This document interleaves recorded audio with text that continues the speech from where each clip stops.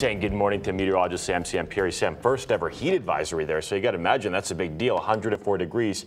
I mean, that doesn't seem too crazy, but over there, maybe well, it is. over there it is because Yeah. where they're located, they're further up in the northern Right. latitudes and they're surrounded by a cool ocean. So that it is a little bit unusual, and we're going to be dealing with our own heat indices. I was just going to say it's coming. It's coming. Big heat coming up uh, later on this week. So uh, get ready for that. And we'll have a little bit of preview of some humidity starting up. And let's check out uh, Westbrook there. Joe sent this uh, to us yesterday evening looking south from the coastline, Long Island Sound there. So, uh, yeah, we had a couple of showers and storms roll on by and we missed some big rains. We had some scattered storms yesterday, got scattered showers, I should say, a little bit more than I would have liked to see.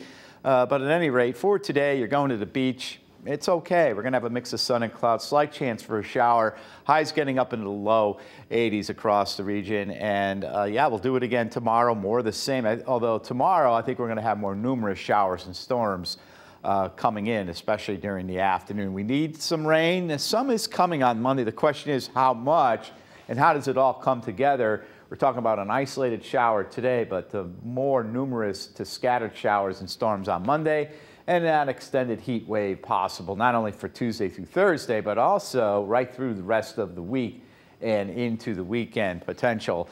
The worst part of it would come on Thursday with the highest heat and humidity. Yeah, it's going to be the melting forecast, all right. Some decent melting going on today. Uh, so yeah, kids get uh, get onto that ice cream and check check out what you can expect this week. Temperatures in the 90s starting on Tuesday and going all the way through the rest of the week and even into next weekend. The difference will be humidity will start to drop off on Friday. So temperatures right now are in the 60s to lower 70s. Not too bad to take. It is a little bit on the muggy side. Look at the dew points in the mid to upper 60s and near 70.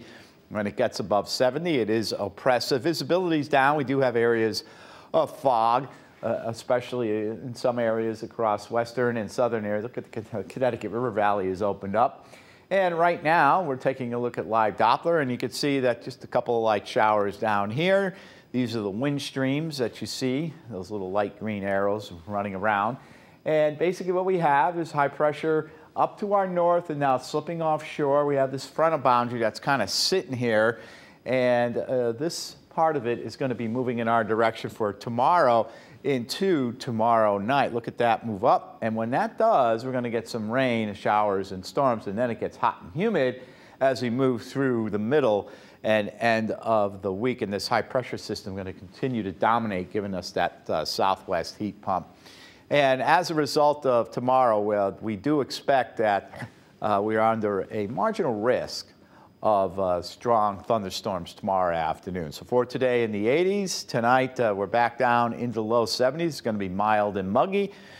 And we could have some scattered showers and storms. And putting this into motion for you, you can see temperatures in the 80s today, slight chance for a shower, mostly cloudy tonight. Waking up the temperatures down in the 60s, lower 70s. Here comes a batch of rain. Here's uh, the system number one. And then look at some more showers and storms. And then look by 4 o'clock tomorrow. Look at all this heavy rain moving along the region. So we can get some much needed rain out of this. Let's hope we can do that. And then look at Wednesday. I skipped Tuesday just to show that Wednesday is going to be the hottest day of the year. Highs well up into the 90s. There's your Fox 61 seven day forecast showing you that big heat on the way. Angelo, what a week to have off around here and go to the beaches and all the inland lakes. Uh, great summer week on the way.